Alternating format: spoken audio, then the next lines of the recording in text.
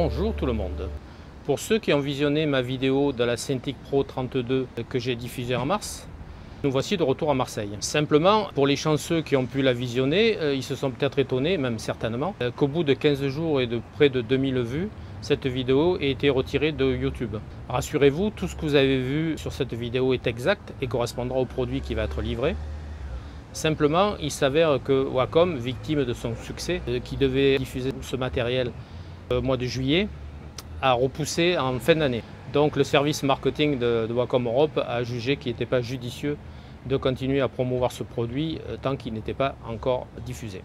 Bien entendu, vous comprendrez que si cette vidéo qui était une avant-première, ça a été un scoop puisque vous avez pu voir nulle part ailleurs un bêta-test de ce matériel. Comme cette vidéo n'a existé que grâce au fait que Wacom France avait eu la gentillesse de me prêter cette tablette, il aurait été malvenu de ma part de refuser de la mettre en stand-by en attendant qu'il soit opérationnel. Ceci étant dit, à tout malheur, quelque chose est bon. On a convenu euh, que j'allais refaire une vidéo de la 24 pouces. Voilà le bébé. Ils m'ont envoyé un matériel de prêt parce que vous avez dû constater qu'en ce moment, elles sont vendues au compte-gouttes. Et donc, ils m'ont envoyé ce matériel que je vais pouvoir garder un petit moment. Donc, on va pouvoir se permettre de faire une vidéo où je m'en excuse pour ceux qui ont déjà vu la première, je vais certainement m'en répéter à plusieurs reprises, mais c'est dans le but que tous ceux qui ne l'ont pas vu euh, puissent avoir tous les détails techniques. Vous commencez à me connaître maintenant. Comme je vais avoir un peu plus de temps ce coup-ci pour euh, faire cette vidéo, on ira plus loin. On ira même jusqu'à faire un peu de travail euh, pratique sur tablette. Donc vous serez de toute façon toujours gagnant. Voilà, autre nouvelle qui j'espère est une bonne nouvelle pour ceux qui sont intéressés, je vais pouvoir euh, très bientôt euh, servir de site de démonstration. Donc j'aurai à demeure une 5 Pro 24 touches que vous pourrez venir essayer euh, sur rendez-vous pour vous faire une opinion avant d'investir parce que c'est quand même un investissement relativement important. À ce propos, il y aura aussi une autre nouvelle, mais je vous garde tous ces détails pour la fin de la vidéo, une fois qu'on aura fait tout ce qu'on avait à faire. Quand on fera le point, je vous expliquerai tout ça plus précisément. Bon, ben écoutez, on va attaquer de ce pas. Nous allons déballer la tablette et on va profiter de l'occasion pour euh, détailler tous les accessoires qui sont livrés avec celle-ci. Tout d'abord, vous voyez, euh, il vous est livré avec une notice rapide d'installation. Bien entendu, sur Internet, vous trouverez une notice utilisateur un peu plus fouillée. Hein. Nous allons enlever ceci. Voilà qui est fait. Alors, tout d'abord, on trouve bien entendu le fameux stylet, le Propane 2, dont on parlera un peu plus longuement tout à l'heure. Le support de stylet qu'on va déballer, voilà qui est fait. À l'arrière, vous trouverez un petit trou qui vous permet d'enlever la mine quand vous devez la changer. Et si on le dévisse, on trouvera à l'intérieur des mines de rechange. L'Express Key, la télécommande, qui va permettre de faire au maximum 17 raccourcis clavier. Quelques différentes notices, on va passer là-dessus. Là, vous avez un petit chiffon pour nettoyer. Ici, vous avez le chargeur pour la télécommande Express. Cette télécommande est sans fil et euh, quand vous aurez besoin de la recharger, vous servirez du port qui est sur la tablette et que vous brancherez directement sur l'Express un petit support qui va se fixer sur la tablette elle-même pour pouvoir poser le stylet en haut de l'écran. Là aussi, on le verra dans la pratique. On arrive au câble. Détail important. Alors là, nous avons le câble HDMI. HDMI, HDMI. On a un câble DisplayPort donc là, vous avez un câble DisplayPort classique des deux côtés. Donc si vous voulez le brancher sur un portable ou sur spécifiquement un Mac, eh, il va vous falloir vous brancher en mini DisplayPort. Le voilà. Donc là, vous allez avoir le fameux DisplayPort, mini DisplayPort. Avec ça, vous allez pouvoir vous brancher sur tous les mini DisplayPort que vous trouverez sur vos Mac ou sur vos PC le câble USB.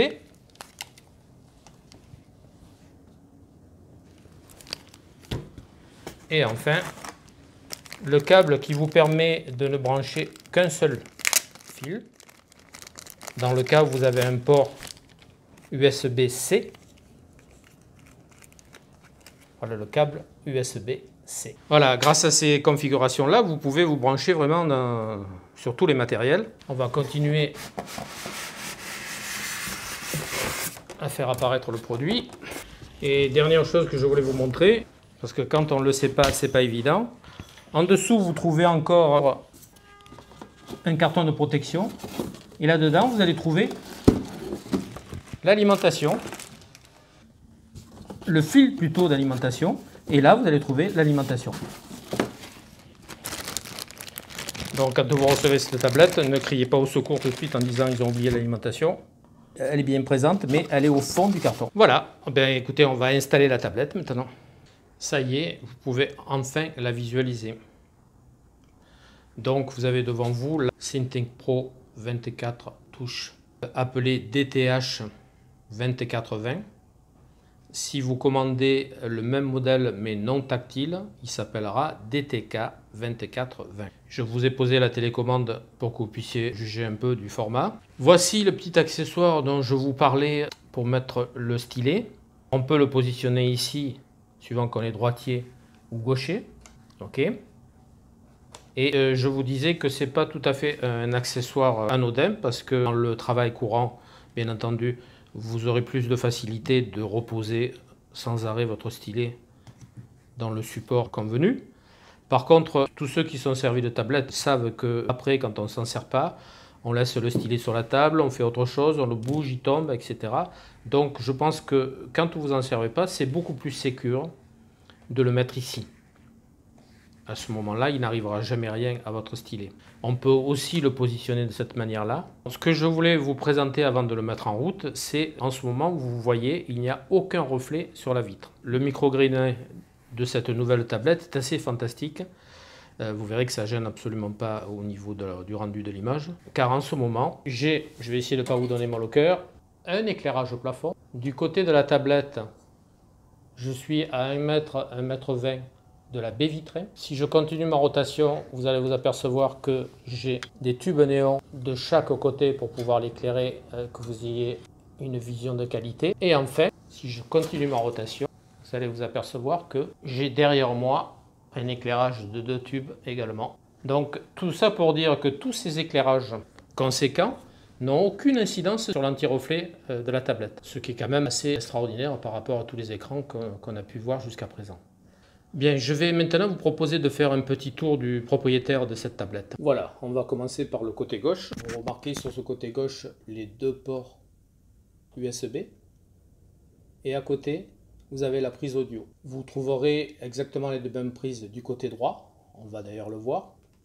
Et là, vous avez le pied en position. Maintenant, le côté droit, vous retrouverez donc les deux ports USB. Ça fait donc 4 USB de base, hein, USB-A et à côté, cette fente que vous voyez là, c'est le lecteur de carte SD. Voilà enfin la face arrière. Sur celle-ci, vous pouvez remarquer à gauche l'interrupteur qui est ici, qui vous permettra d'allumer ou d'éteindre la tablette, avec le voyant d'alimentation et le voyant du stylet. Vous pouvez aussi remarquer tout le long de la tablette des grilles d'aération. En fait, l'air de refroidissement rentre par la face avant, tout à fait en bas, et sort ici. Autre point remarquable, c'est le support de, stylet, que la petite pièce que je vous avais montré tout à l'heure. Et vous remarquez ici la fente qui permet de mettre ce support aussi bien à droite qu'à gauche, suivant que vous soyez droitier ou gaucher. Voilà, bah écoutez, là on a fait vraiment le tour de la machine. Alors, on va enlever la télécommande. Voilà. Au passage, vous pouvez voir les pieds amovibles. Quand ils sont en position fermé, vous aurez droit à 5 degrés entre l'avant et l'arrière. Quand vous les mettez en position ouverte, vous avez droit à 15 degrés. Donc quand on va ouvrir la face arrière, on a besoin d'enlever ce petit accessoire qui va aider à passer les câbles. Puis ensuite, on a accès à la trappe. Et là, nous allons avoir accès à tout le système de câblage. Pour que ce soit plus clair pour vous, je vais zoomer. Donc voilà, Ici se trouve un port USB qui a pour utilité de brancher la télécommande. La télécommande est reliée à la tablette grâce à ce petit, euh, dongle. Ensuite, vous allez trouver là le port HDMI. À côté, vous allez trouver le port DisplayPort. Encore à côté, le câble USB. Et quand on basculera de l'autre côté, vous trouverez le fameux port USB-C et le reste des accessoires comme engine. Euh, vous le savez, euh, on peut maintenant sur ces modèles intégrer une cassette qui vient se glisser dans ces rails, qui s'intègre dedans. Et en fait, c'est un PC qui va être totalement intégré à la tablette. À ce moment-là, vous n'aurez plus que le fil d'alimentation du PC et de la tablette. Et tout le reste se gérera en interne. Donc c'est une évolution qui est assez spectaculaire. Vous avez deux modèles de Wacom Engine avec des puissances différentes suivant les besoins que vous avez. Donc nous, dans le cas qui nous occupe, on va se brancher sur notre portable Mac. Il va falloir brancher le câble DisplayPort, puisque moi j'ai un portable Mac qui a un port mini DisplayPort, comme ceci. Ensuite, puisque je suis en DisplayPort, et je vous l'avais expliqué que je sois en HDMI ou en DisplayPort, il va me falloir un deuxième câble pour les données à partir de l'USB. Donc je branche le câble d'USB. Voilà qui est fait. Et en fait, bien entendu, il faut brancher l'alimentation. Et on va l'intégrer. Là, nous sommes opérationnels pour commencer à travailler. Alors, on va voir euh, comment ça se passe au niveau des câblages. On va pouvoir remettre le capot. Et voilà qui est fait. Enfin, si on le désire, on peut améliorer la gestion des câbles en mettant ce petit accessoire. On va retourner la tablette. Voilà qui est fait. Il ne reste plus qu'à brancher euh, sur le Mac et on sera opérationnel. A tout de suite. Il est temps d'allumer cette tablette. Donc nous allons faire de ce pas. Vous allez voir au démarrage qui va apparaître en haut la définition 3840 par 2160 en 60 Hz. Ça me permet d'ouvrir une parenthèse, à savoir que pour pouvoir utiliser cette tablette en 60 Hz en UHD, il faut que vous vérifiez si votre matériel est compatible. Par exemple, dans le cas d'un portable Mac, ce qui est mon cas, euh, vous pouvez avoir de l'UHD à partir de 2013. Et encore, vous avez de l'UHD, mais en 30 euh, Hz. Si vous voulez bénéficier du 60 Hz, comme c'est le cas ici, il faut que vous ayez un matériel de 2015. Pour les PC, euh, ça sera exactement identique, mais les PC étant totalement configurables, à vous de vérifier que votre carte vidéo euh, vous permet de bénéficier de l'UHD. Bien entendu, cet écran peut descendre jusqu'à 640 par 4580. vous voyez que c'est vraiment très très bas. Donc tout le monde pourra bénéficier de cette tablette, mais par contre si vous voulez avoir de l'UHD, il faudra respecter certains critères dont je viens de parler. Voilà, ben écoutez, maintenant que nous avons fait ça, vous pouvez constater au passage la qualité de l'image. Hein, comme je l'avais dit la première fois, j'ai été euh, très surpris par la qualité de cette image et, ce revêtement anti-reflet. Tout à l'heure, je vous parlais de revêtement anti-reflet. Pourquoi j'insiste sur ce point? C'est que c'est d'autant plus important quand vous avez une tablette graphique. Pourquoi? C'est qu'un euh, écran classique, vous l'utilisez à 90 degrés. Donc vous avez possibilité de gérer la lumière qui vient sur l'écran. Par exemple, ne mettre aucune lumière à l'avant de l'écran, les placer à l'arrière pour que ça n'éclaire pas la surface et vous permette d'avoir une gestion de l'image très performante. Dans le cas d'une tablette, vous en servez à plat ou quasiment à plat. Donc n'importe quelle lumière vous avez au plafond ou sur les côtés vont venir se refléter. Donc c'est d'autant plus important d'avoir un revêtement anti-reflet de cette qualité qui vous permet de lutter contre ces parasites-là, puisque vous n'avez aucune possibilité de dire je ne vais pas mettre de la lumière devant, je vais la mettre que derrière. Même derrière, elle va se refléter sur l'écran. Voilà, bah écoutez, maintenant on va passer à l'interfaçage. Je vais euh, zoomer un peu pour que vous voyez de plus près et euh, je vais vous expliquer ce qui se passe ici avec l'interface directe de la tablette elle-même. Un dernier point que je ne vous ai pas précisé, c'est la dimension. Je vais vous positionner une feuille 21-29-7 pour que vous voyez la dimension de cet écran. Alors bien entendu, il est plus petit que le 32 pouces que je vous avais présenté, mais vous voyez que dans, en hauteur, ça représente carrément 21-29-7 et que vous avez possibilité d'en mettre 2,5 large. La surface utile réelle, elle est de 29,4 52 cm. Voilà, à tout de suite pour l'interfaçage. Concernant l'interface physique, nous avons accès à 5 boutons tactiles. Le premier vous permet de désactiver ou d'activer le tactile. D'accord va vous permettre de calibrer l'écran. Alors attention, cette fonction n'est valable que si vous n'avez pas acheté l'option Wacom Color Manager, qui est colorumètre, qui est ici, qui vous permet d'étalonner de manière contractuelle votre écran. Bien clair, une fois que vous avez étalonné grâce au colorimètre, si vous intervenez sur ces masques qui vont apparaître, vous allez sortir de l'épreuve contractuelle. Donc à n'utiliser que si vous voulez le calibrer manuellement. Voici la, fenêtre. Comme vous pouvez le constater, on a la possibilité de gérer la luminosité. On peut gérer le contraste. Et surtout, on peut rentrer dans les paramètres couleurs. Nous avons accès à température de couleur, espace de couleur et la calibration personnelle de l'opérateur. On va commencer par la température de couleur. Voilà, comme vous le voyez, il est calé en ce moment à 6500 degrés Kelvin. Il faut savoir que pratiquement tous les écrans qui existent sur le marché sont calibrés en usine à 6500 degrés Kelvin, qui est le standard pour de la gestion uniquement d'affichage. Euh, bien entendu, vous pouvez intervenir sur différentes températures de couleur. Par exemple, si vous travaillez pour le pré-presse, vous pouvez vous mettre en 5000 degrés, vous avez dû voir la différence. L'écran au départ en 6500, il est bleuté. Les grilles sont bleutées, le fond, vous voyez, est légèrement bleuté. Si vous passez en 5000 degrés, qui est la température du soleil à midi pour le monde du pré-presse, vous retrouvez avec une, image dont le gris a tendance légèrement chaude. Mais c'est uniquement par opposition. Si vous restiez en 5000 degrés, vous allez très vite vous habituer et le trouver totalement neutre. Donc là, choisir les différentes températures. Qu'est-ce que c'est que ce terme degré Kelvin? C'est tout bêtement basé sur un corps noir que l'on met à chauffer.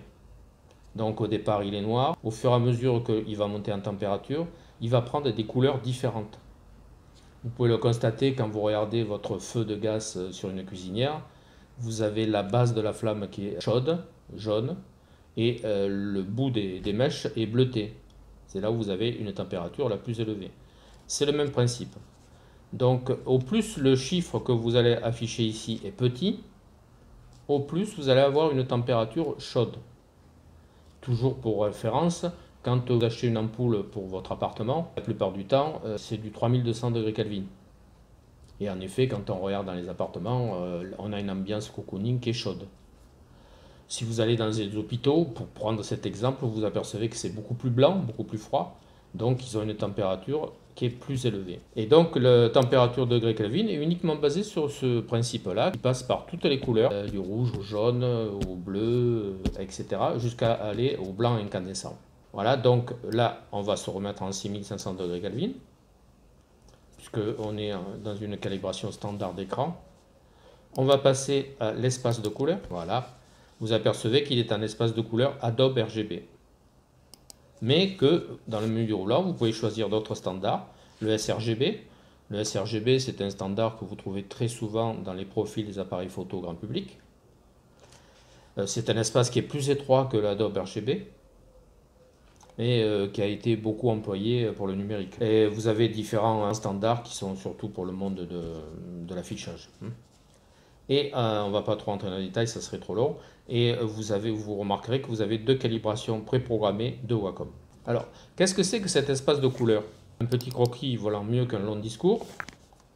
Voilà. Vous avez face à vous, vous là, l'espace colorimétrique visible. Ce que l'œil humain est capable euh, d'apercevoir. Donc vous voyez que c'est une surface qui est assez grande, qui passe par différentes couleurs. Et là-dedans, vous avez des triangles qui représentent les différents espaces qu'on peut vous proposer au niveau des écrans ou de l'impression. Là, par exemple, le sRGB dont on a parlé, je vous ai dit que c'était un espace assez étroit. C'est ce pointillé noir là. Si on le compare à l'Adobe RGB qui est en rouge, vous apercevez que le sRGB est compris dans l'Adobe RGB. Donc au plus l'espace de travail que vous aurez sera large, au plus vous aurez possibilité de présenter des couleurs euh, de plus en plus saturé. Là, par exemple, quand on a un sRGB, bien entendu, on a droit au vert, mais c'est des verts qui sont assez gris, assez sales. Et au fur et à mesure que vous montez, si vous êtes en Adobe RGB, vous avez des verts de plus en plus saturés. Ça peut aller jusqu'au euh, Profoto RGB que vous voyez là.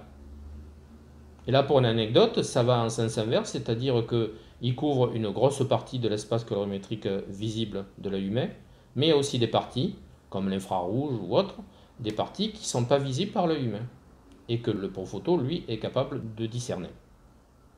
Enfin, dernier détail, le swap CMYK, ça vous montre un espace colorimétrique pour le CMJN, c'est-à-dire pour l'imprimerie, tous les journaux, etc. Vous voyez que euh, d'abord, swap CMJN, c'est le swap, ça veut dire un standard américain. Mais pour la philosophie, ça ne changera pas grand-chose à l'explication. Vous voyez qu'il est en rose là en ce moment. Alors, Prenons cet exemple. Si vous avez un écran qui ne fait que du sRGB, vous apercevez qu'il y a une partie du CMYK que vous ne pouvez pas reproduire. Alors, toutes ces couleurs qui sont par là, elles seront ramenées à cet endroit-là, donc elles seront beaucoup moins saturées. Par contre, si vous avez un écran, dans le cas qui nous occupe, Adobe RGB, vous apercevez que le swap est complètement intégré et que donc, vous pourrez reproduire la totalité des couleurs que l'encre d'imprimerie vous permet de reproduire. je crois qu'on a fait un bon tour et que maintenant c'est plus clair pour vous qu'un espace colorimétrique. On va fermer ceci. Donc je reviens à ce fameux menu et vous voyez la différence d'espace colorimétrique. Dernier point, le gamma. On va se mettre en température de couleur. Voilà. Le gamma, on peut le représenter de manière simple pour que ce soit compréhensible pour tout le monde par le contraste et la luminosité en même temps.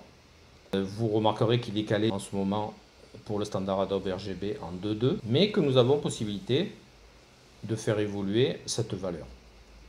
Par exemple, ceux qui viennent du monde Mac, pendant très longtemps, on a calibré les écrans à 1.8. Je vais le faire, vous allez voir la différence. Vous avez vu l'écran changer. Il s'avère que maintenant, le monde du Mac et le monde de PC, on travaille tous les deux dans le standard 2.2. OK? Et le dernier point on va retourner en espace de couleur.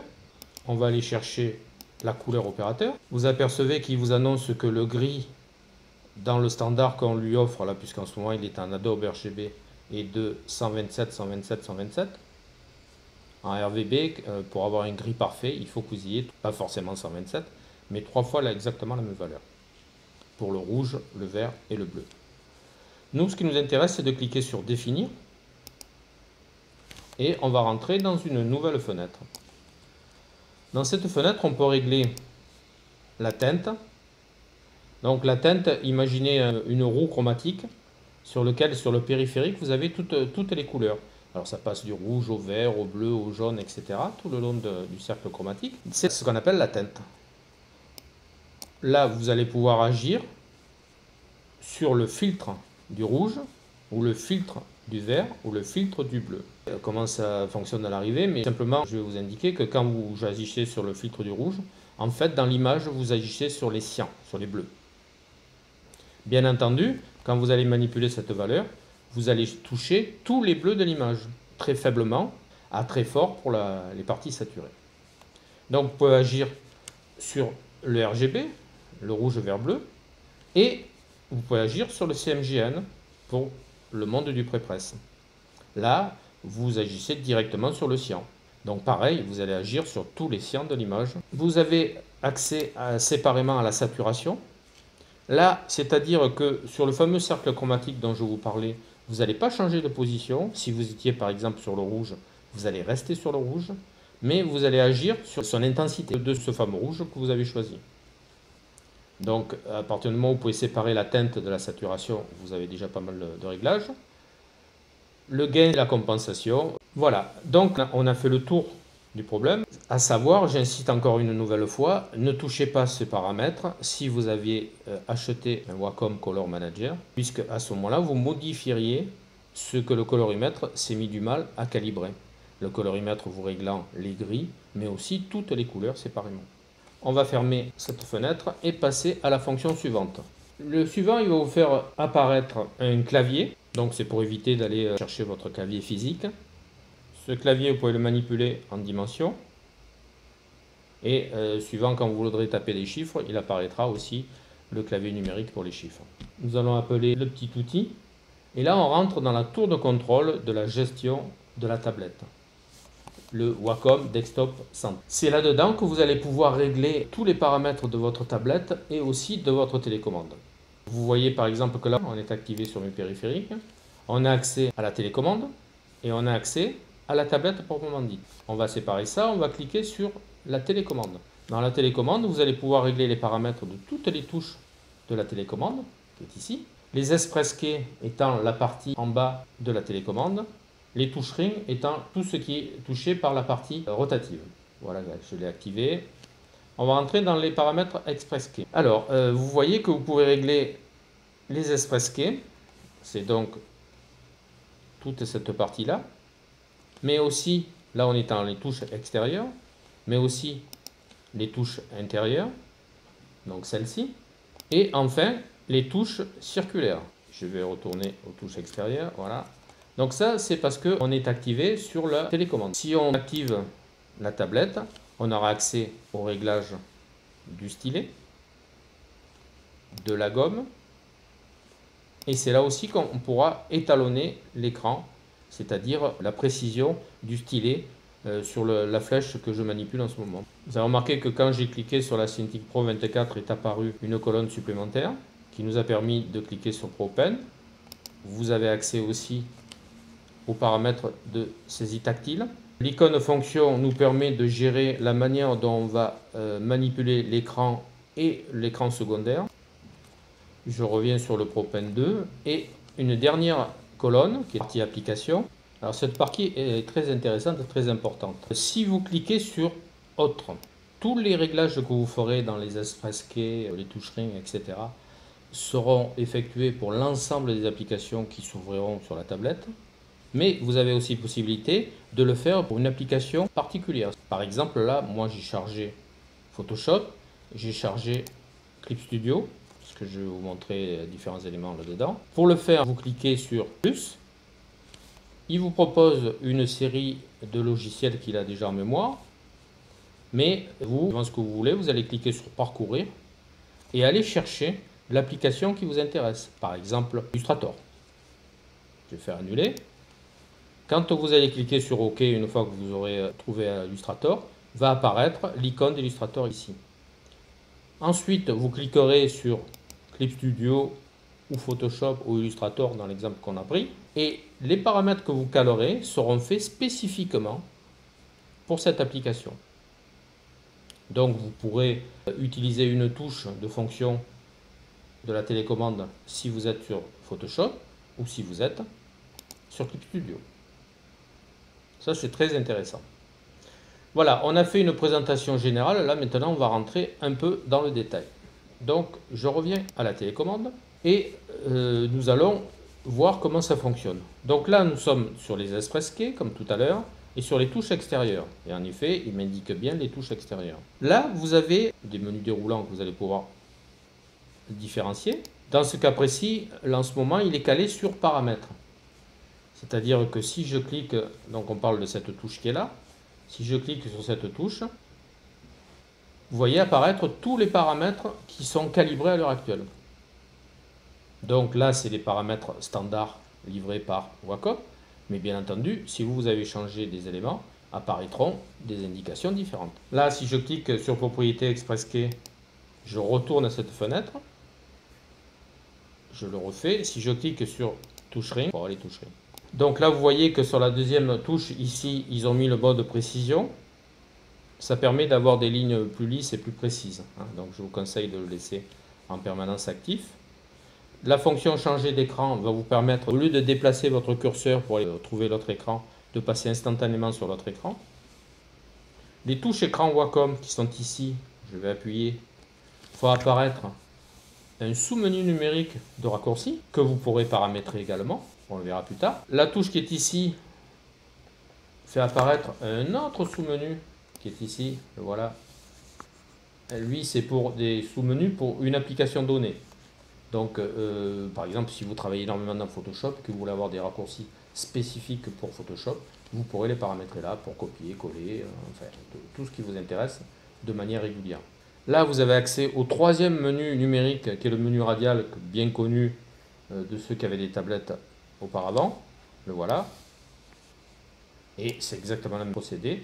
Dans chaque tranche, là que vous voyez, vous avez une préférence que vous aurez paramétrée suivant vos besoins et qui vous remettra de rentrer directement. Par exemple, là, vous avez la palette forme. Euh, dans Photoshop, si vous cliquez là, vous allez faire apparaître la palette forme immédiatement sans avoir besoin d'aller chercher la fonction.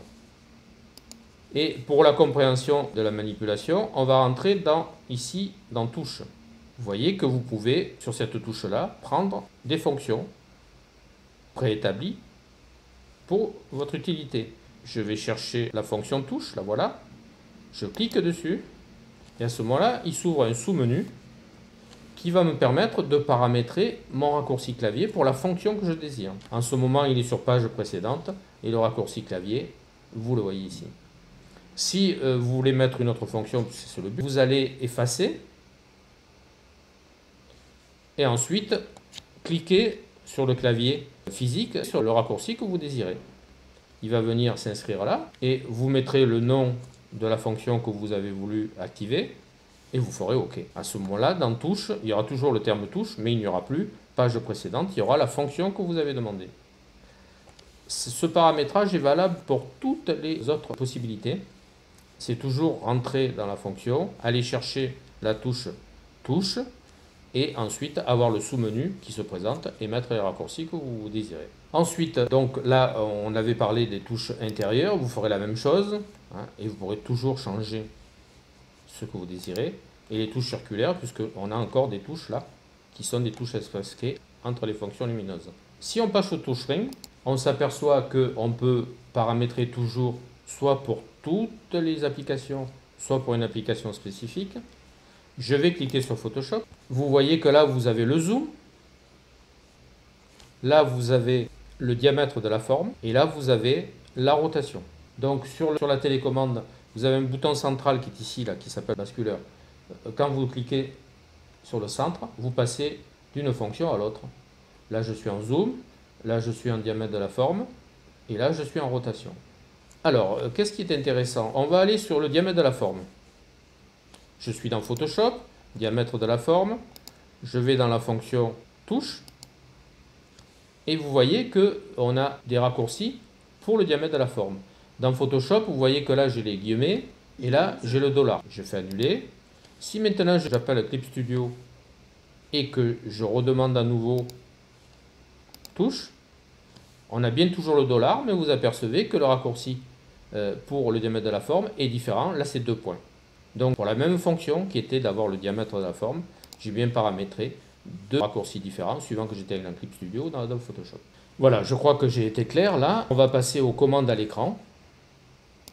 Et là, notamment, pour simplifier, on va retrouver nos touches écran. Je vous rappelle, c'était les touches qui sont apparues en haut de l'écran. Les raccourcis d'application, c'est les touches qui sont apparues sur le côté gauche. Et le menu radial, c'est les touches circulaires qu'on a, a vues. Suivant, donc, euh, prenons celui-ci, suivant les fonctions que vous désirez, vous affecterez une fonction de la même manière que ce que je viens de vous expliquer. Voilà, on a vu les commandes à l'écran, on a vu les touches ring, on a vu les espaces keys, donc même paramétrage hein, pour, pour ces trois fonctions. On a vu les possibilités de paramétrer spécifiquement pour une application donnée. On a survolé tout à l'heure les paramètres touches, on va peut-être être un peu plus précis. Donc quand vous êtes dans geste standard, là vous n'avez pas le choix de mettre des raccourcis qui vous sont spécifiques à vous. Simplement, vous avez le choix, euh, quand vous manipulez par exemple avec deux doigts, de choisir qu'est-ce que vous voulez qui fonctionne à ce moment-là. Donc vous activez ou vous désactivez une fonction. Avec trois doigts, avec quatre doigts et mes gestes, comme je vous le disais tout à l'heure. Là par contre, vous allez pouvoir mettre votre propre fonction pour trois doigts, pour quatre doigts, suivant que vous glissez vers le haut ou que vous glissez vers le bas, pour cinq doigts, suivant que vous glissez vers le bas ou que vous appuyez. Et là, toujours le même principe de fonctionnement. Vous allez aller dans la fonction, et une fois que vous avez trouvé la fonction, vous allez mettre votre propre fonction à la place de celle qui est actuellement actif. Enfin, le stylet, on parle de ce magnifique stylet qui est le Propen 2. Vous voyez que vous avez deux touches de fonction, une plus petite qui est ici, une beaucoup plus large. Côté, vous avez la gomme, spécifique à Wacom. Euh, aucun fil, aucun chargement, c'est une technologie qui est spécifique elle aussi à Wacom. Donc, vous pouvez euh, gérer le toucher de la pointe, c'est-à-dire que vous allez décider qu'il soit plus ferme ou plus doux. Ça, c'est une question spécifique à chaque opérateur. Mais détail plus intéressant, vous pouvez cliquer sur Adapter. Et là, vous avez accès à la courbe de réponse du stylet. Et de ce côté, vous pouvez manipuler votre stylet pour voir si ça vous convient.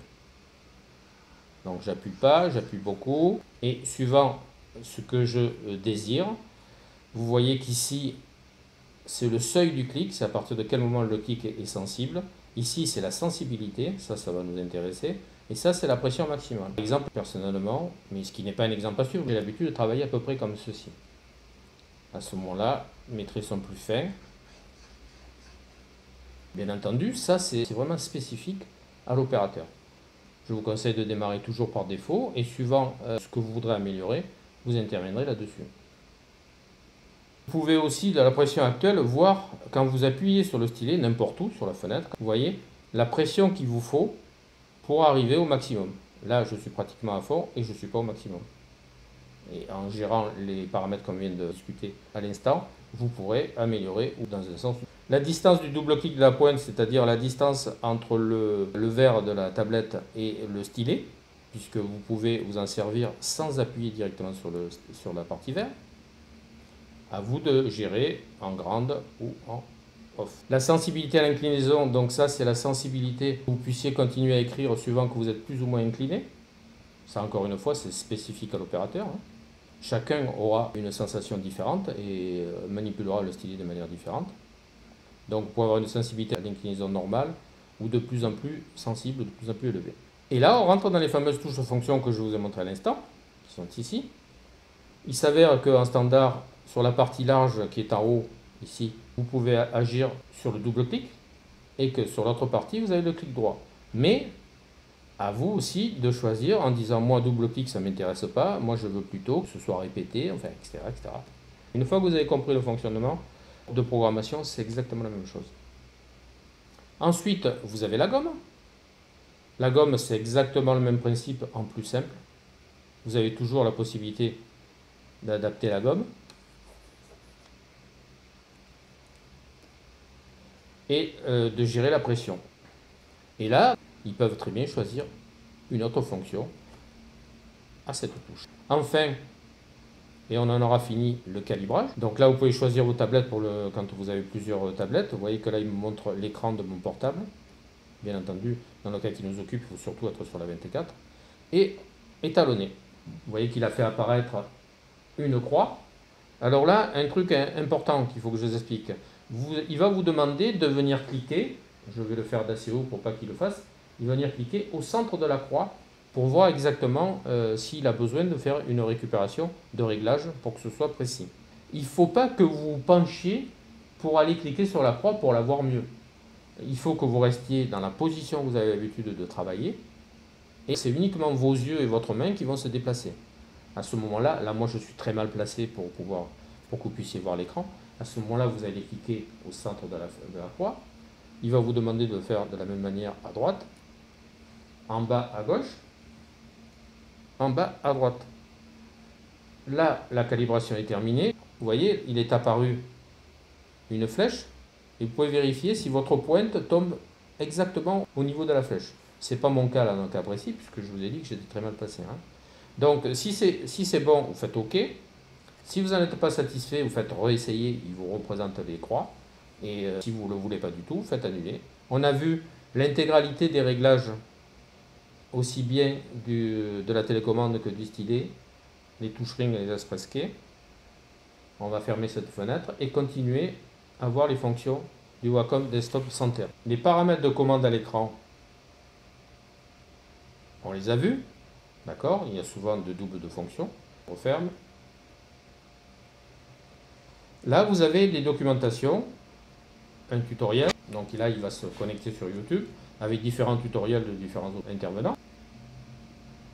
Et là, vous avez l'aide pour l'utilisateur. Ça, c'est déjà plus intéressant. C'est tout bêtement la notice de votre matériel. C'est vraiment une notice utilisateur complète. On a vu l'intégralité pour la remote. On va passer maintenant à la Cintiq Pro 24. Donc nous cliquons, Cintiq Pro 24, et vous retrouvez toute une liste de paramètres. Alors les paramètres touches, je vais le faire pour que vous compreniez bien l'arborescence,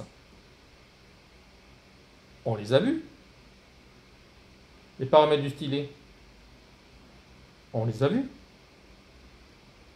L'étalonnage du stylet, on l'a fait. Les paramètres de commande à l'écran, c'est encore une fois ces fameuses touches-là qu'on a vues. Les paramètres écran, c'est les fameux paramètres pour calibrer l'écran qu'on a vu tout à l'heure. L'assistant de configuration, vous êtes forcément passé par cet assistant au moment de l'installation. Donc je ne vous le remontre pas. Et là pareil, on a les documentations pour la mise en route, c'est différents tutoriels pour la tablette. L'aide pour l'utilisateur, c'est la notice technique qu'on a vue. Enregistrer votre appareil, ça il faut le faire dès que vous l'avez installé. Et informations relatives au produit, c'est une liste de précautions et d'avertissements. Donc tout ça c'est fait. Maintenant, on peut sauvegarder les paramètres, ce que je vous conseille fortement. Une fois que vous aurez paramétré votre télécommande, vos touches de ciblé, vous pourrez les sauvegarder. Alors vous cliquez sur sauvegarder, il va vous demander l'emplacement, comme toute sauvegarde. Et par exemple, moi, vous voyez, il y en a un là, préférence Wacom. Ça c'est important parce que si dans quelques temps, euh, surtout au début, quand vous manipulez avec moins de connaissances, euh, si vous déréglez quelque chose, vous n'arrivez pas à vous retourner dans le standard où vous étiez, vous rappelez par restaurer, vous allez rappeler cette calibration. Réinitialiser les paramètres, attention, là c'est réinitialisé aux paramètres par défaut. Euh, vous perdrez tous les paramètres que vous avez paramétrés vous-même. Et en plus, Wacom vous offre la possibilité de sauvegarder sur le cloud, sur le nuage pour être français. À condition que vous soyez enregistré, ça, ça fonctionne. Hein. Euh, sauvegarder sur le cloud, restaurer à partir d'un élément qui est sur le cloud, et gérer les paramètres stockés dans le cloud. D'accord? Une sécurité plus plus, comme on dit, c'est de sauvegarder sur votre disque et de faire aussi une sauvegarde sur le cloud, pourquoi pas. Les mises à jour. Vous voyez que tout est grisé. Il me dit que en général, mon pilote est à jour. Je suis en 6.3.30. La mise à jour éventuellement de la télécommande et la mise à jour spécifique à la tablette. Vous voyez, dans les trois cas, on me dit que tout est OK, il n'y a pas de mise à jour. Ensuite, là, vous rentrez dans la boutique Wacom directement. Magasin, c'est pour l'éventualité de commander euh, directement. Et l'assistance, c'est notamment pour contacter l'assistante clientèle. nous avons fait le tour intégralement du Wacom Desktop Center. Donc comme je vous l'ai dit à l'entrée, vous voyez, tout est regroupé là-dedans.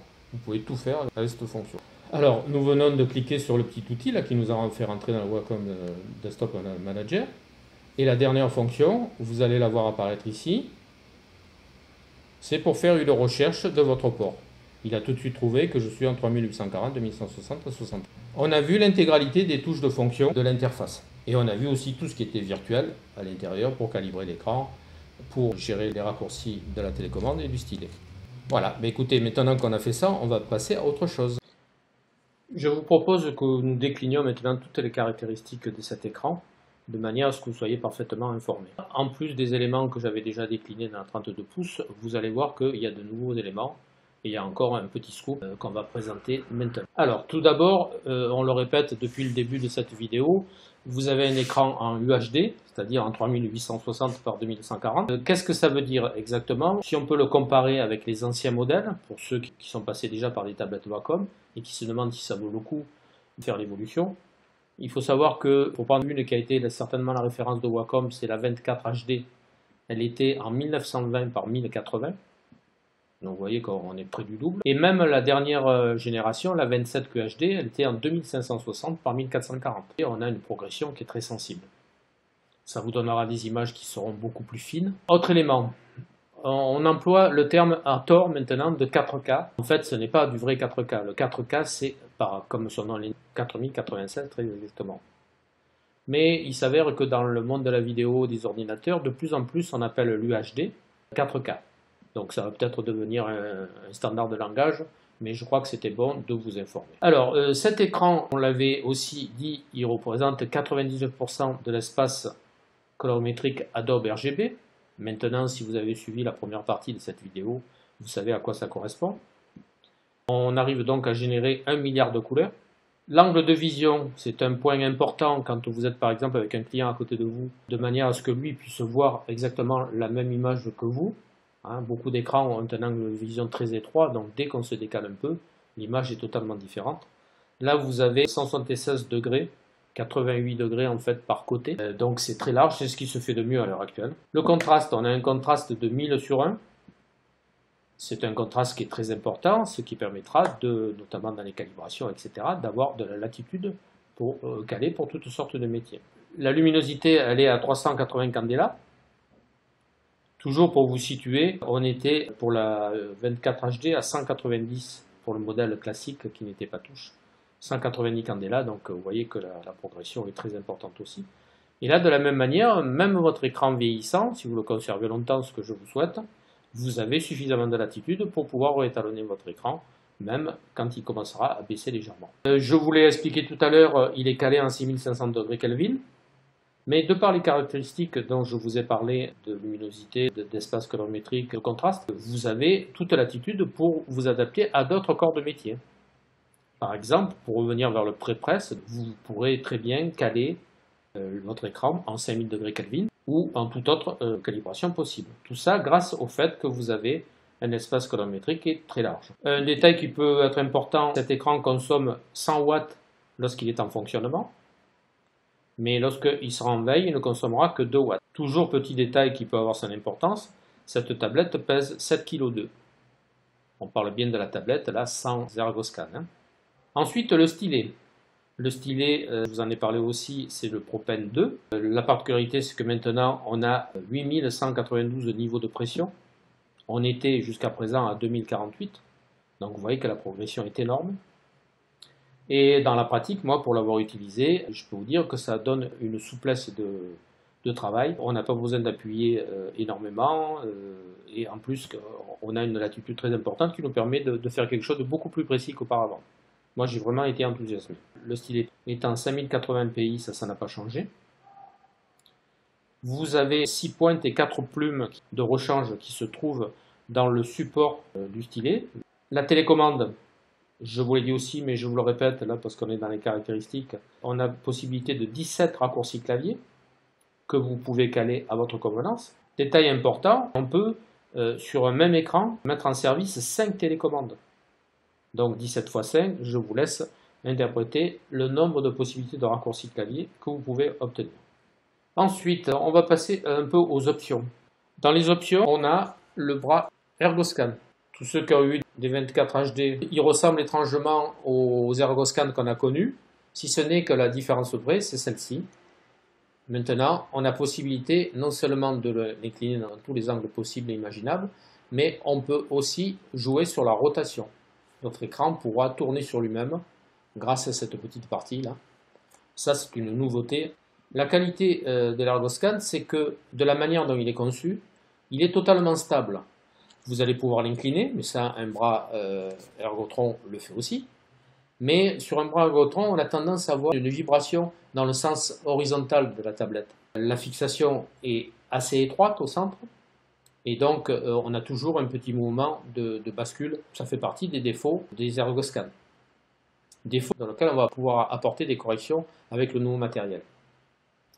Vous savez que euh, l'ergoscan vous permet d'incliner à l'angle que vous désirez et que grâce au fait qu'il a un support qui est très lourd, on peut aussi le positionner pour avoir l'écran qui sort de la table, pour ceux qui aiment avoir le ventre posé contre l'écran il ne basculera pas parce que ce support fait contrepoids. Inconvénient de l'ergoscan, c'est justement sa qualité, c'est que le contrepoids prend beaucoup de place sur le bureau et donc euh, on ne peut pas mettre autre chose à l'emplacement où on a mis la tablette. Et maintenant on va parler des ergotrons. Alors d'abord, pour ceux qui ont des ergotrons déjà et qui veulent acheter une tablette Syntec Pro 24, vous allez avoir obligation, une option, qui est un adaptateur pour pouvoir se connecter sur la tablette. La tablette elle-même n'a pas la structure euh, qui permette de fixer directement un bras ergotron. Alors, vous voyez, c'est cette partie-là. Particularité, remarquez qu'il a été conçu pour euh, cette tablette, notamment, euh, vous voyez, cette partie-là est en creux de chaque côté, pour laisser passer notamment les câbles, quand vous avez le point engine. Autre avantage, c'est que quand vous avez un ergotron euh, quand vous branchez sur une tablette, vous aviez un support qui est étroit sur une tablette qui est très large. Ce qui explique ce petit moment de balancier dont peuvent se plaindre certaines personnes. Là, ils ont conçu de manière à ce que de là à là, nous ayons un VESA 200 par 100.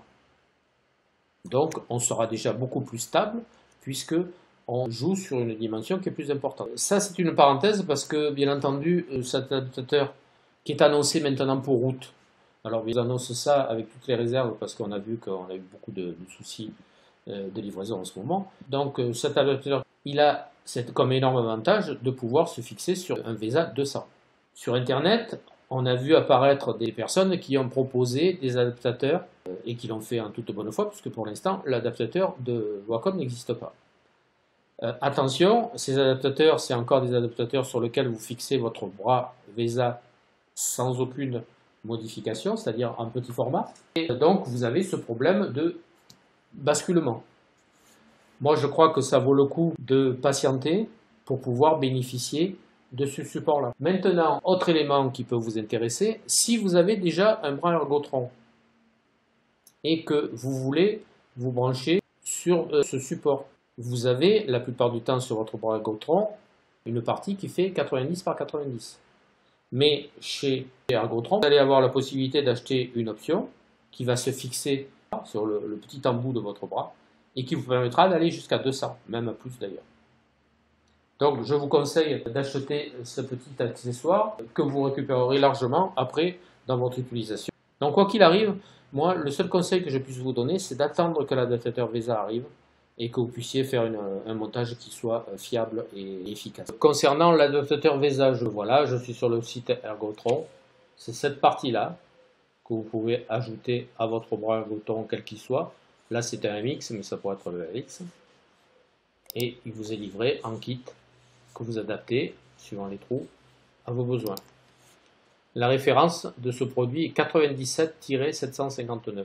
Donc, si vous avez bien compris, cette partie-là, vous allez la rajouter à votre support VESA habituel, qui est en 90 ou maintenant c'est du 100 par 100 d'ailleurs. Là, c'est le support de votre bras et sur lequel vous venez fixer ce kit qui vous permet d'allonger suivant les, dimensions que vous avez besoin.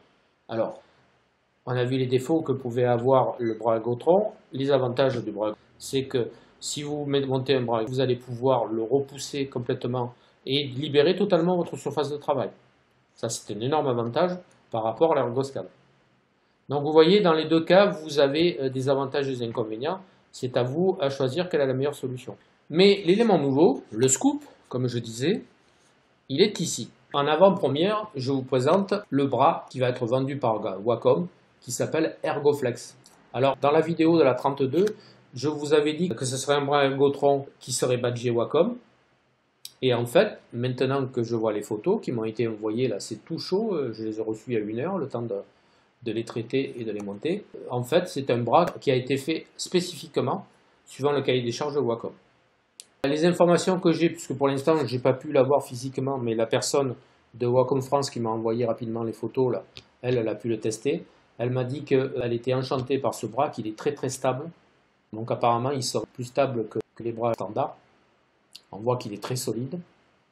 Et surtout, énorme avantage, alors je ne sais pas si je vais arriver à vous le faire voir avec la flèche, vous voyez que le support, lui, non seulement n'est plus en 90, n'est plus en 200 comme je vous expliquais pour l'adaptateur VESA, il est carrément sur toute la longueur. Le bras, maintenant, il va se servir de ces trous-là. Ils sont ici. Donc, il est encore beaucoup plus stable. L'adaptateur VESA, ça va être déjà un gros progrès pour vous. Et si vous n'avez pas de bras déjà à disposition et que vous voulez en acheter un, si vous achetez le bras Wacom, ce n'est pas un kit comme je viens de vous montrer, c'est-à-dire que ça ne vient pas se fixer sur le bras. Le bras est livré en trois parties. Et la troisième partie, le support euh, et la barre, c'est soudé à un seul morceau. Donc ça va éliminer d'autant plus les oscillations. Vous voyez qu'on peut le mettre dans toutes les positions. On peut le tourner sur lui-même. Donc là, c'est pareil. Si vous avez envie d'un bras parce que vous trouvez que l'ergoscan prend trop de place, moi je vous conseille d'attendre, là aussi il est question d'août, on verra bien, qu'il soit disponible et de pouvoir le, visualiser véritablement avant de faire un achat. Il serait bête que vous achetiez un bras LX euh, pour s'apercevoir que celui-là est beaucoup plus intéressant. Voilà, ça c'était le, petit scoop euh, qui n'existait pas sur la 32 pouces. On va continuer dans les options. Alors, le fameux Wacom Engine. C'est cette fameuse tablette, là, suivez ma souris, elle est délimitée ici. C'est un PC qui a été intégré par Wacom sous forme de tablette. Alors bien entendu, vous pourrez forcément mettre que le PC de chez Wacom, le Wacom Engine. Vous ne pourrez pas raccorder euh, un autre PC, puisque là, il a une forme très particulière. Et il va venir se brancher, lui, directement, dans les ports que je vous ai montrés en début de vidéo. Donc, si vous prenez cette option, une fois que vous avez intégré le Wacom Engine en place, vous n'aurez uniquement qu'une alimentation pour la tablette et une alimentation pour le Wacom Engine. Bien entendu, ça va éliminer tous les câbles qui traînent sur le bureau. Et là, c'est pareil, si vous avez un PC très performant, bien entendu, vous allez continuer à votre PC. Si par contre il est question que vous deviez changer de PC ou en acheter un tout bêtement, posez-vous la question de cette option avant de le faire. Là, vous avez deux options possibles, soit des puces i5, soit des puces Xeon. Bien entendu, c'est une question de puissance suivant le besoin que vous avez si vous faites de la 3D ou si vous faites que de l'image des cartes 3D euh, GPU. c'est euh, des machines qui sont assez puissantes. Voilà, je ne rentre pas plus dans le détail parce que je pense que beaucoup d'entre vous l'ont déjà vu. Donc on a parlé du bras Ergotron, de l'adaptateur VESA que je vous conseille pour pouvoir bénéficier d'une largeur plus importante pour éviter les oscillations. Je vous rappelle que si vous avez déjà un bras Ergotron, il n'est pas question d'en racheter un. Euh, vous avez une option chez Ergotron qui vous permet de fixer sur 200 mm ou même plus si nécessaire. L'Ergoflex, je vous ai montré les, photos en avant-première. L'Ergoscan, on en a parlé. Euh, simplement un détail, savoir que l'Ergoscan lui-même, que, le support de tablette, pèse 11 kg. Donc il faudra rajouter ces 11 kg aux 7 kg de la tablette proprement dite. Le Wacom Color Manager, j'ai pas prévu de photo, mais je vous l'ai montré tout à l'heure. Et je pense euh, que contrairement à ce que je comptais faire au début, je vais vous remontrer une calibration d'écran. Toujours euh, pour la raison que celle que j'avais montrée dans la 32 pouces, vous risquez de ne plus la voir jusqu'à la fin de l'année. Il y aura donc un paragraphe avec la calibration d'écran et la fameuse option Wacom Color Manager. On n'a pas parlé des configurations d'ordinateur. À savoir que si vous avez un PC, il vous faut une version 7 minimum. Si vous avez un Mac, il vous faut une version système 10.11 minimum. Et bien entendu, ultérieure dans les deux cas. Un autre détail qui peut être intéressant que je vous avais pas donné, concernant la télécommande. Il faut savoir que pour la charger lorsqu'elle est vide, il faut environ 2 heures, donc c'est assez rapide. Mais que par contre, une fois qu'elle est chargée, elle tient 160 heures. Donc, si vous avez des semaines de 40 heures calculées, vous voyez que vous avez une, capacité de, de charge qui est très très importante pour la, pour la télécommande. Enfin, les prix. Là, c'est pareil, vous pouvez aller les voir sur le site Wacom, mais puisque je suis là et qu'on est en train d'en parler, autant euh, le faire. La DTK 2420, je vous rappelle que la DTK, c'est la version que vous avez devant les yeux depuis tout à l'heure, mais non tactile. Elle fait 2168 euros. Et la DTH 2420, H pour touche tactile, elle fait 2723 euros. Je crois qu'on a fait vraiment un tour de toute la partie intendance. On va pouvoir maintenant s'amuser avec cette tablette, de s'en servir dans des applications. A tout de suite. Chose promise, chose due, nous allons faire une calibration. Alors, pour faire une calibration, il vous faut un colorimètre. Le voici. Là, il s'avère que c'est un X-Rite. Quand vous achèterez l'option Wacom Color Manager, ça sera ce modèle-là exactement, mais badgé Wacom. Lié à ce colorimètre, on a un logiciel j'ouvre. Dans ce logiciel, on a possibilité d'étalonner des écrans, des projecteurs, des imprimantes. Attention que le colorimètre que je vous montre qui est vendu par Wacom ne sert qu'à calibrer les écrans. Vous ne pouvez pas calibrer les imprimantes avec, il faut un spectro-colorimètre. Donc je vais lui dire que je veux caractériser un écran. Il s'est mis sur la fenêtre adéquate. Et là, j'ai différents standards. Custom, maintenant vous connaissez le terme, c'est pour faire vos propres paramètres. Photographie, c'est quand vous voulez étalonner l'écran pour faire de la photo. Prépresse, c'est pour l'imprimerie. Web, ça parle de lui-même. Alors moi, ce que je vais faire, c'est que là, il est calé en Adobe RGB, c'est-à-dire en mode photographie. Que je vais le calibrer en prépresse, de manière à ce que quand on aura fini, on voit vraiment un écart entre les deux profils. J'ai appelé la fonction prépresse. Il s'est mis à jour automatiquement.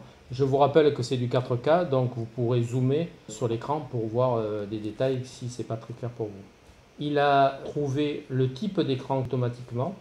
Il m'a mis en diode blanche. Ça, c'est l'écran de mon portable. Donc, bien entendu, ce qu'on veut étalonner, c'est la tablette.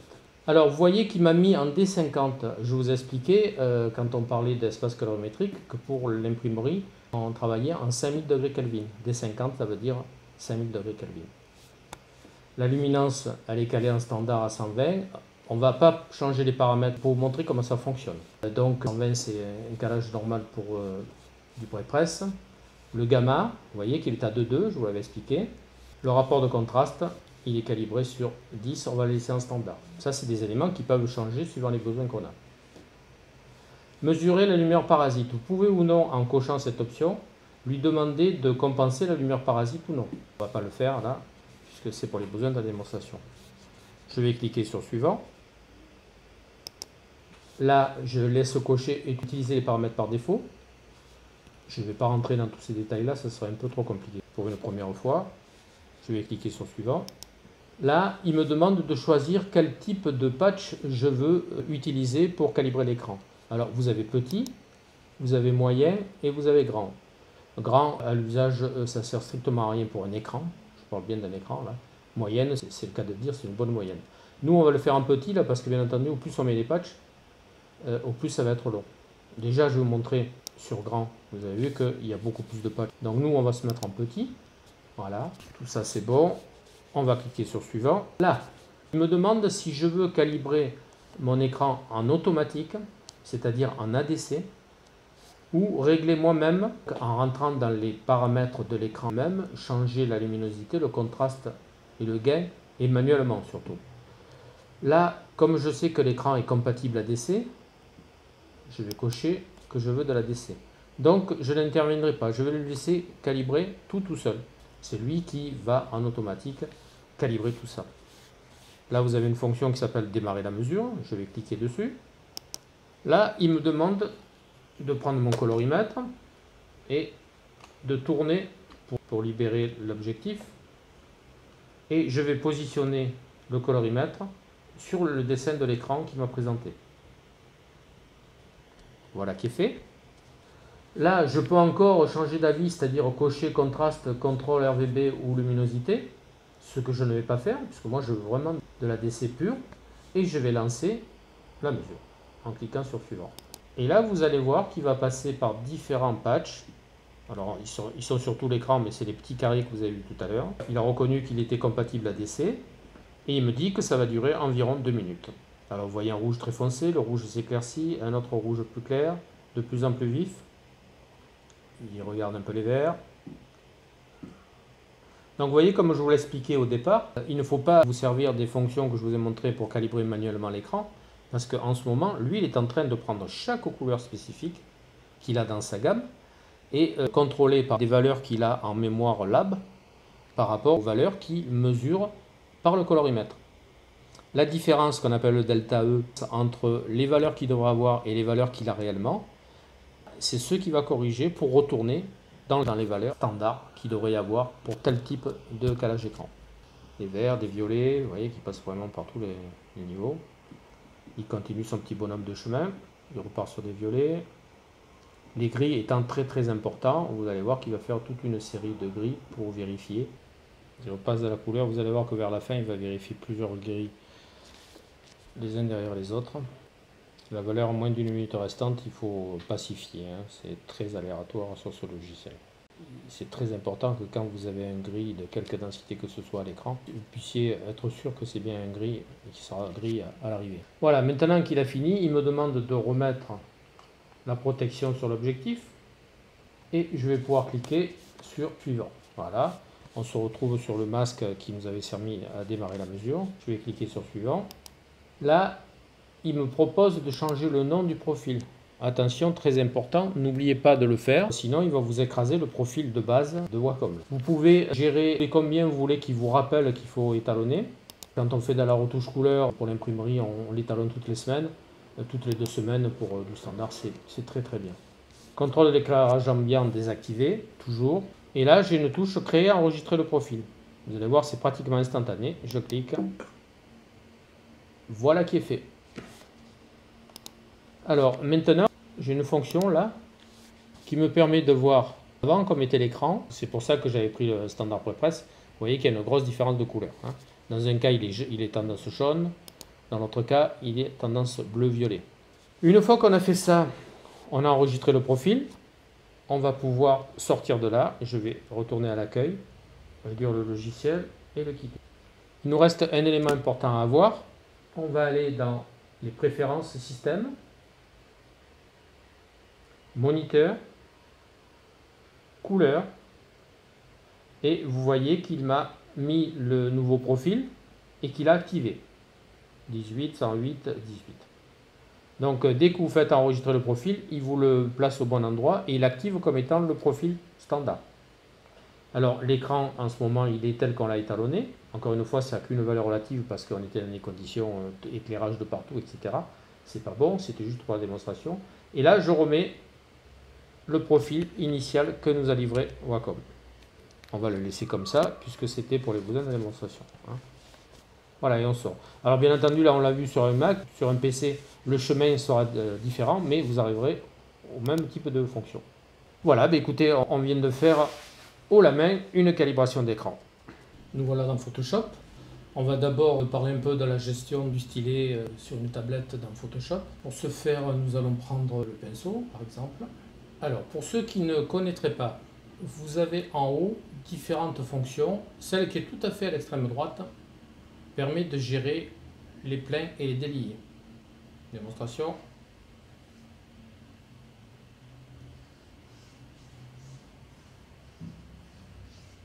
OK. Celle qui est au centre, là, vous permet de gérer la pression. De plus en plus foncée au fur et à mesure que vous intervenez. Une barre claire, ça finit foncé. Après, à vous de juste à poser toutes ces fonctions-là pour obtenir le résultat que vous voulez. Donc nous, ce qui nous occupe, pour que ce soit bien visible, je fais uniquement la pression. Vous voyez qu'on peut passer de très fin à très foncé. Ensuite, on avait parlé des raccourcis clavier de la télécommande. On va se mettre sur la position zoom et je vais tourner la molette, comme vous voyez, sans intervenir sur aucune fonction physique. Je fais agrandir ou réduire. Euh, quelque chose que pas tout le monde connaît, toujours sur ce touche ring, vous pouvez, en appuyant légèrement sur, en haut ou en bas, gérer par palier les agrandissements. Ça, ça peut être très intéressant, suivant ce que vous voulez faire. Maintenant, on va parler de la dimension de la forme. Donc, je vais basculer toujours par le bouton du centre sur le diamètre de la forme. Vous voyez, ma forme est au bout de mon, de stylet. En jouant sur le touche ring, vous voyez que je peux grossir ou réduire. Enfin, dernier point, la rotation. Si je manipule le touche ring, vous voyez apparaître la fonction de rotation. Donc tout ça fait avec la télécommande par la, touche circulaire qui s'appelle la touche. Alors bien entendu, avez montré les raccourcis clavier que j'avais rentrés à l'intérieur des fonctions. Ça, ça évoluera en rapport de votre configuration à vous. Soit parce que vous aurez employé une touche qui est déjà occupée par, par exemple, les raccourcis système, soit parce que vous êtes sur un PC, bien entendu, vous aurez des, raccourcis totalement différents des touches de fonction totalement différentes pour arriver à votre objectif. Donc chaque fois, quand vous commencez, vous allez avoir des fonctions qui ne marchent pas. Euh, il, vous appartient à vous de trouver le bon raccourci, de le rentrer dans le Wacom Desktop Manager pour que ce soit efficace. Voilà pour la pression du stylet. Comme à notre habitude, on va faire un peu de retouche. Voilà centre. Alors, première chose, tout d'abord, on va regarder s'il il est calé correctement au niveau des contrastes, c'est-à-dire des noirs et des blancs. Rommel, je m'aperçois que je peux monter légèrement les points noirs. Les parties contrastées se sont améliorées. Et là, je vois que je suis un petit peu fort. Ok. Ensuite, vous remarquez que le visage est un peu plus pâle que le reste du corps. Vous allez voir pourquoi je vais faire ça plus tard, quand on voudra changer la couleur des chiens. Donc je vais faire rapidement une sélection du visage. Alors quand on parle retouche, ce n'est pas de l'art. Hein. parce qu'on va faire des bords dégradés qui permettront de faire des petites retouches sans que ce soit très important. Je vais faire comme H pour désactiver la sélection. On va se mettre à 100%, pourquoi pas.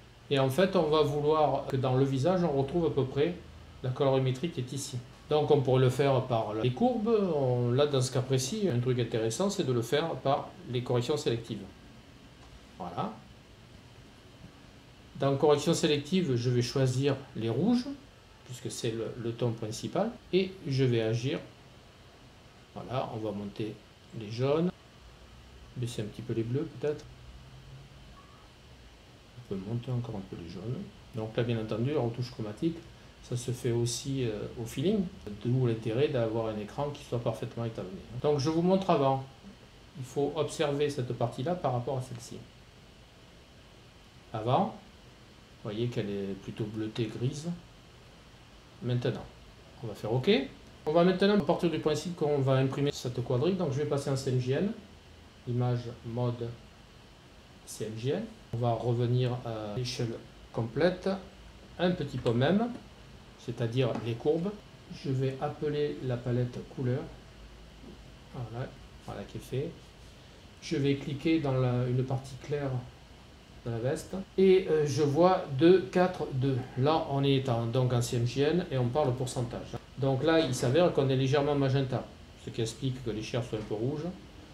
On va ramener une valeur neutre. Dans le blanc absolu, c'est 4. Vous voyez que en même temps d'avoir ouvert la palette couleur, en même temps que je modifie les couleurs, je le vois en pourcentage sur la palette couleur. Voilà, là on est parfaitement neutre. La différence entre voir sur l'écran et le fait de connaître les pourcentages, bien entendu, c'est que les pourcentages vous donnent une sécurité parfaite au moment de l'impression. Là, on a une valeur absolue. Je fais OK.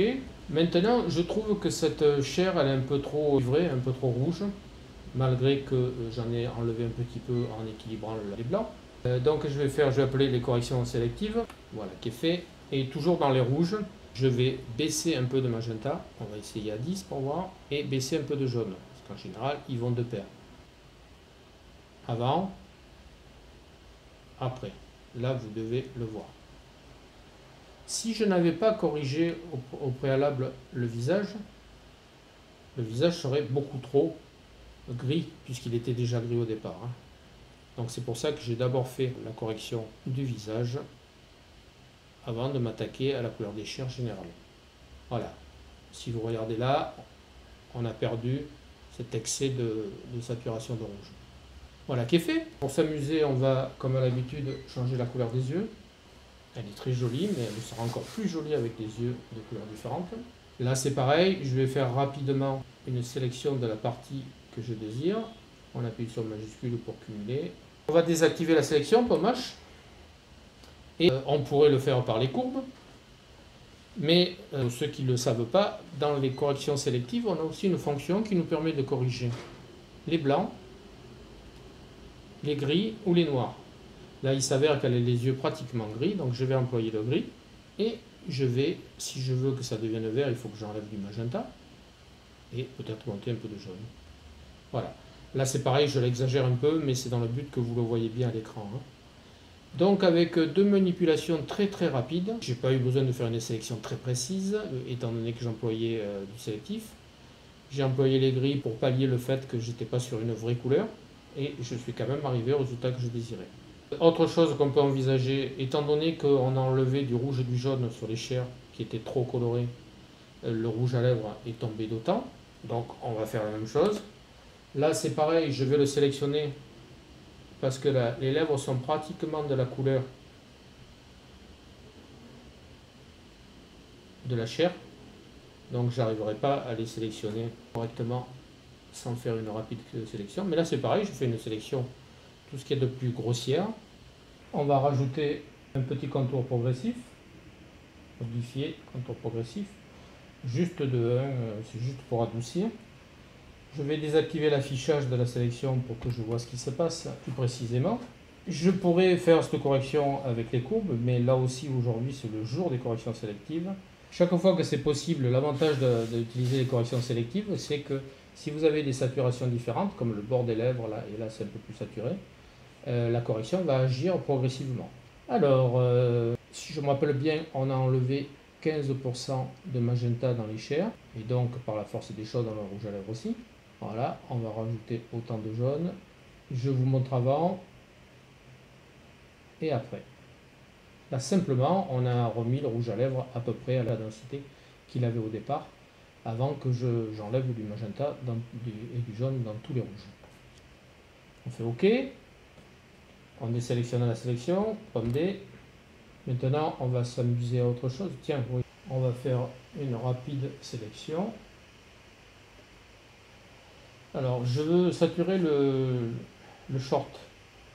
Donc, euh, comme je vais prendre du sélectif, j'ai pas besoin là de faire des sélections très proches. Par contre, là, comme le fond est gris bleuté, par sécurité, là, j'en ai pas besoin. Là non plus, là non plus, là non plus. Vous voyez qu'en fait, je ne sélectionne que les parties qui me paraissent délicates.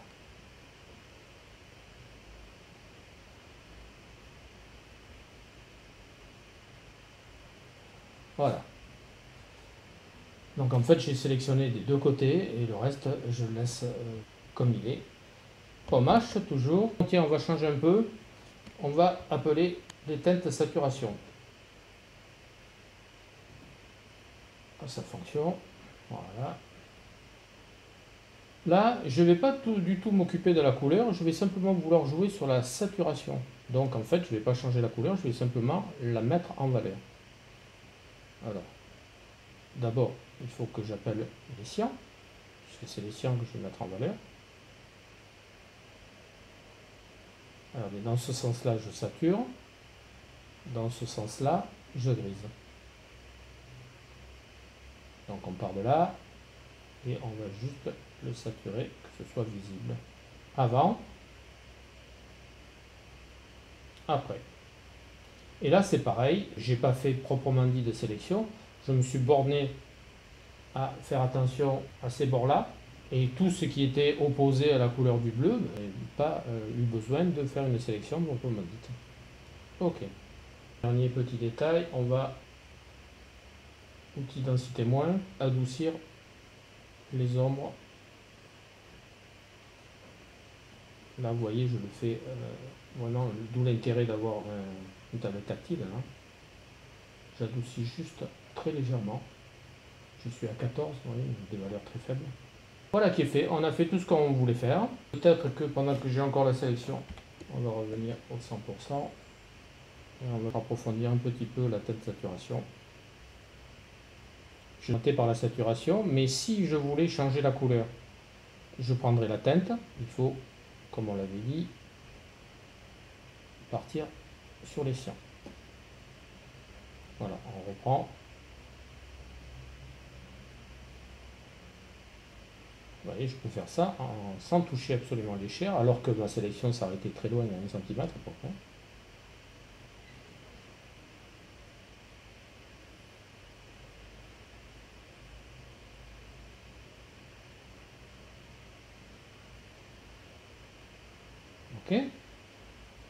Je vais me mettre un peu plus violet. Et bien entendu, si j'additionne à cette nouvelle teinte de la saturation, j'arrive à quelque chose qui serait désagréable, mais c'est pour vous faire comprendre comment ça fonctionne. Et enfin, on pourrait jouer sur la luminosité. Vous voyez que ça éclaircit jusqu'à être très clair et donc perdre la couleur ou très foncé. Voilà. Ben écoutez, maintenant qu'on a modifié tout ça, on va passer dans Manga Studio et faire un peu plus de dessin avec le stylet. Nous voilà dans Manga Studio. On va pouvoir développer un peu le stylet et le surfaçage de la tablette. C'est quand même le plus important dans l'achat qui nous occupe. Donc on va commencer par du dessin. Alors je me suis préparé un calque. On va choisir un petit bleu pour faire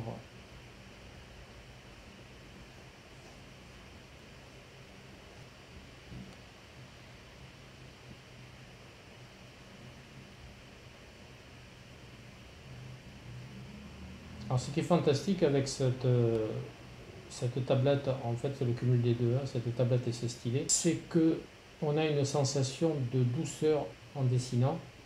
Je veux dire par là que rien ne nous freine. Et par contre, on est en toute sécurité, le revêtement est suffisamment adhérent pour qu'on ne risque pas de glisser et qu'on soit très précis. De toutes les tablettes que j'ai euh, essayées ou que j'ai eues, c'est vraiment la meilleure pour dessiner.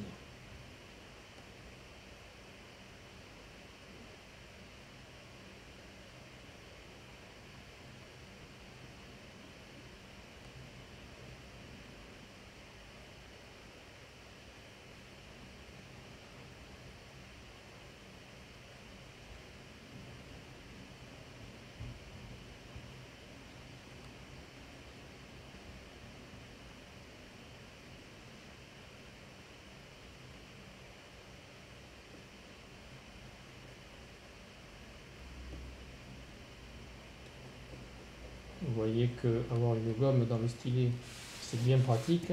On n'a pas besoin de se remettre en question pendant qu'on dessine.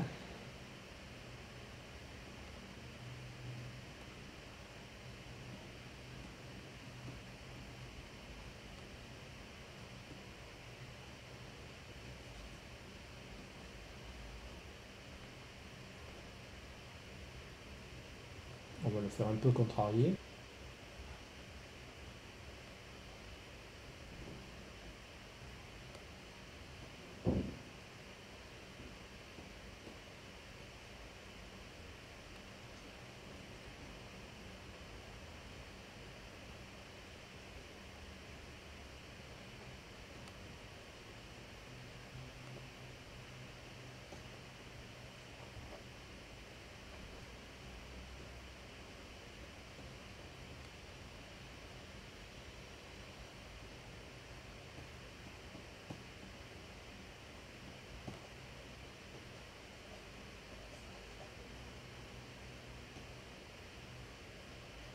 Voilà, ça commence à prendre forme.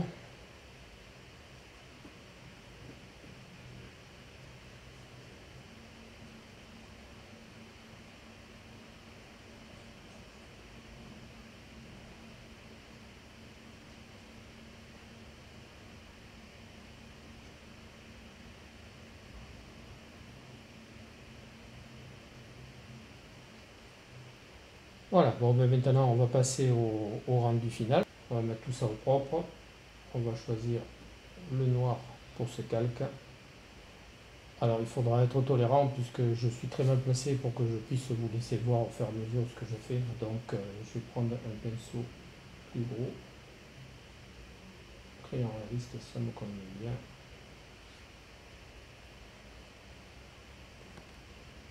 Alors là, Manga Studio est un logiciel que j'aime bien. J'ai pris un, un aspect crayon, fusain exactement, qui est très réaliste.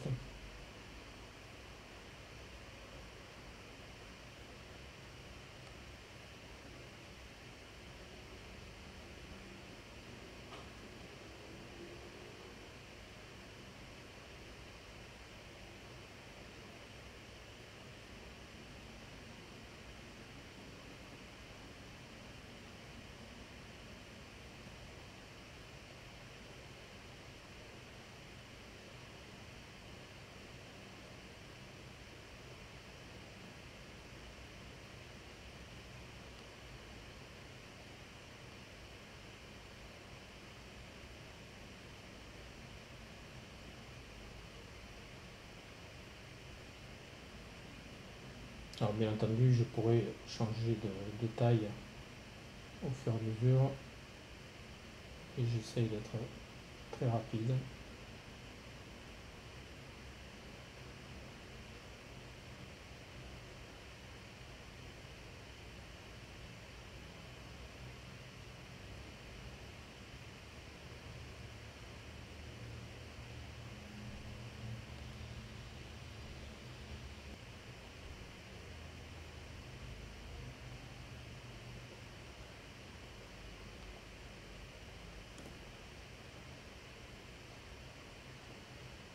On a dit qu'il devait avoir un petit air fatigué.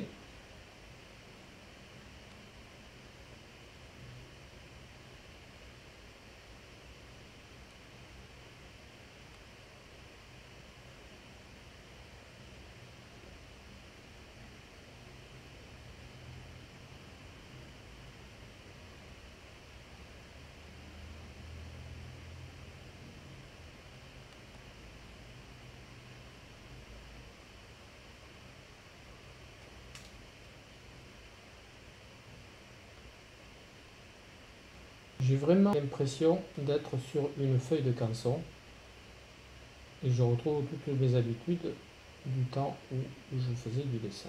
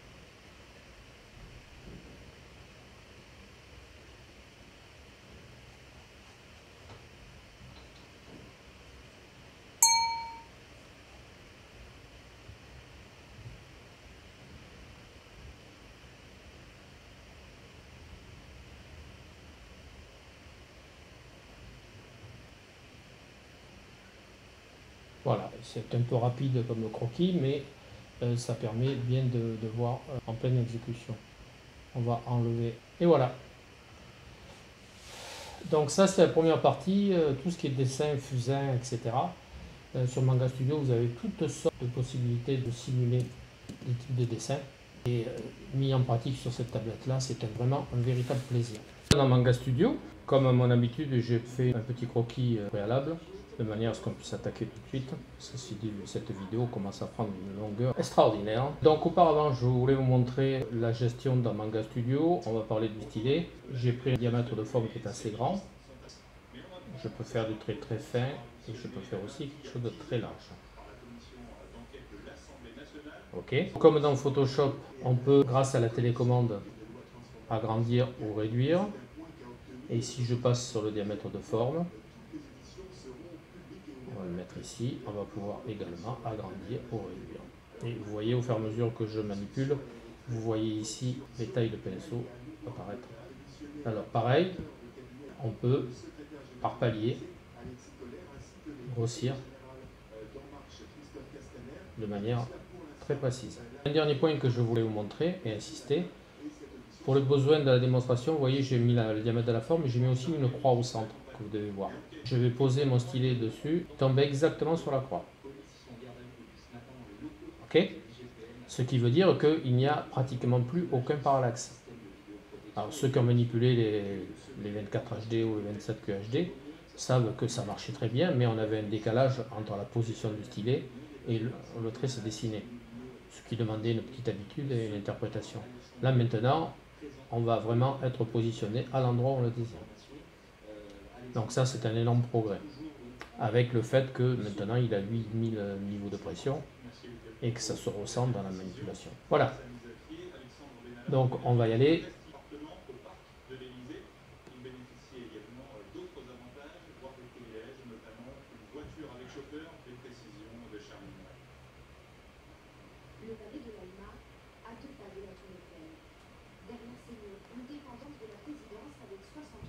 Les yeux, je vais les faire fins.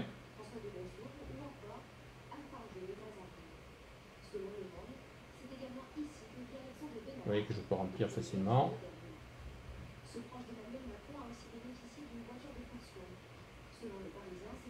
Alors comme euh, d'habitude, il faut être tolérant puisque d'une part moi je suis très très mal placé. Parce que l'important c'est que vous voyez et pas que moi je sois dans de bonnes conditions. Dans Manga Studio on a des fonctions pour remplir, hein, ne vous inquiétez pas. Euh, moi j'ai l'habitude de vraiment tout faire au dessin quand c'est pas du surface énorme. On voit bien la fin de la ligne qui se termine en biseau.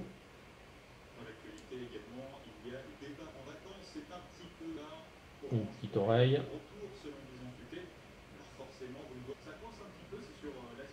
J'exagère sciemment pour que vous voyez.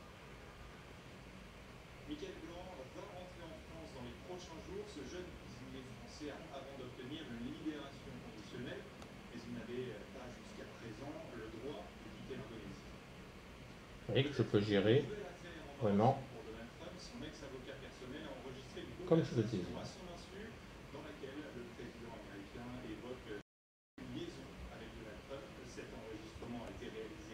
Voilà, on va éliminer le tracé bleu et voilà le résultat. Donc écoutez, là je crois qu'on a fait euh, vraiment un bon tour de, cette tablette et des nouveautés qu'elle a apportées. On va passer maintenant à la conclusion. On va faire un petit résumé de tout ça et vous dire ce que j'en pense personnellement. Nous voilà arrivés à la fin de cette vidéo. Que dire sur cette tablette? Tout d'abord, j'ai essayé de vous faire euh, prendre conscience que euh, cette tablette n'est pas réservée uniquement au métier où on a besoin de dessiner ou de peindre, mais que pour le pré-presse, par exemple, elle est totalement adaptée grâce à ses qualités colorimétriques. On peut tout à fait la calibrer pour être contractuelle et donc pouvoir faire de la retouche colorimétrique très précise sans avoir besoin d'investir et dans une tablette séparément et dans un écran spécifique pour la colorimétrie. D'autre part, toujours dans la question du pré-presse, le fait de pouvoir manipuler et faire de la retouche image à l'aide d'un pinceau, car euh, votre stylet à ce moment-là c'est un pinceau, apporte une approche totalement différente de la retouche. C'est beaucoup moins technique, c'est un peu plus artistique, tout en étant très précis. J'espère l'avoir mis en valeur dans les quelques tests qu'on a fait. Enfin, est-il intéressant d'acheter cette tablette? Tout d'abord, il faut savoir que euh, même si vous avez une 24 HD et une 27 QHD, la question se pose réellement. Pourquoi C'est que la définition de cette nouvelle tablette, qui vous donne quand même une richesse d'image sans concurrence, la qualité de son stylet avec ses 8000 niveaux de pression, et encore une fois la qualité de ce revêtement anti-reflet, font que euh, ça vaut le coup largement d'investir dans cette tablette et de faire l'échange par rapport au modèle précédent.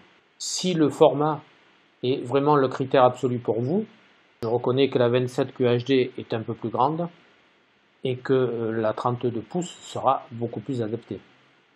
Bien entendu, à ce moment-là, si vous avez le budget, euh, ça vaut le coup d'attendre d'avoir cette tablette à 32 pouces qui est exactement le reflet de celle que je viens de vous montrer euh, à l'instant. Ensuite, un point important que j'ai soulevé, c'est, vous avez vu que pour pouvoir mettre un bras, ça vaut largement le coup d'attendre que Wacom euh, distribue, puisque là il est question que ce soit distribué au mois d'août, donc ça va être incessamment sous peu, puisque nous sommes en juillet au moment où je vous parle. Ça vaut vraiment le coup d'attendre d'avoir le nouveau support VESA. Et si vous n'avez pas de bras et que vous l'envisagez, ça vaut aussi largement le coup d'attendre que le nouveau bras estampillé euh, Wacom soit sorti. Là aussi, je vous ai montré les photos à l'appui qui, qui j'espère vous ont convaincu. Donc euh, moi cette tablette j'ai été euh, enthousiasmé aussi bien d'ailleurs que je l'ai été avec la 32 pouces. C'est grâce à cette structure micro-grainée que vous n'avez aucun reflet sur cette tablette. Et encore une fois j'insiste sur une tablette c'est très très important. Voilà, bah écoutez, je crois qu'on a bien résumé cette tablette Cintiq Pro 24 touches. Maintenant, dans les nouveautés que je vais vous apporter, comme je vous l'ai dit en introduction, Certainement, à partir de septembre, je vais pouvoir vous offrir des démonstrations gracieuses, bien entendu, sur rendez-vous, de cette tablette euh, sur site directement à Marseille. Donc ça sera valable pour toute la région PACA et même pourquoi pas pour d'autres personnes si euh, ils ont une raison de se déplacer jusqu'à moi pour faire le test. Euh, pourquoi j'ai pris cette décision C'est que je crois que c'est très très important pour ce genre de produit de le tester et d'être sûr de la qualité de l'appareil dans lequel on va investir. Enfin, toujours me concernant, de par le fait que je vais vous donner la possibilité de faire des démonstrations physiques euh, sur place, je vais aussi pouvoir vous vendre le matériel. Alors entendons-nous bien, mon activité n'est pas du tout la vente. Si vous voulez passer par moi, vous l'aurez euh, au prix de Wacom. Si vous cherchez absolument un prix et une vente en carton, il ne faudra pas s'adresser à moi, mais à des sociétés qui font ça très bien. Par contre, si vous avez besoin euh, et vous voulez avoir un service d'installation, de paramétrage et ensuite un suivi en passant par moi, vous aurez tout ce service. L'installation et la calibration pouvant se faire directement sur votre site. Voilà, bah écoutez, je crois que je vous ai tout dit. N'hésitez pas à me contacter sur mon adresse mail si vous avez des questions. Et euh, si vous voulez rentrer un peu plus dans les détails, vous pouvez très bien me téléphoner au numéro de téléphone que je vous indiquais en bas de cette page. Je vous dis à très bientôt. Au revoir.